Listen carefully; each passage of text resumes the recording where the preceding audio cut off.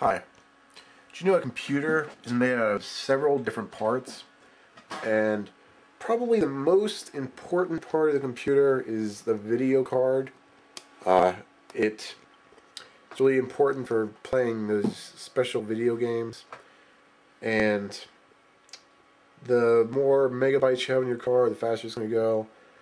The more uh, speed you have, the faster it's going to go. And this one right here, I have one, uh, for example. This is an AGP video card. Uh, it's got just a VGA thing in the front. It's pretty simple.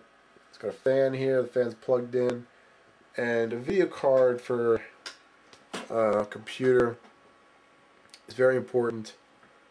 Um, it's made out of some sort of plasticky material and the front's some sort of some sort of metal, and it's it's the part of your computer that puts it puts the monitor on this on a it, it connects the, the computer to the monitor pretty much, and that's pretty much it. That's what a video card does. Thank you.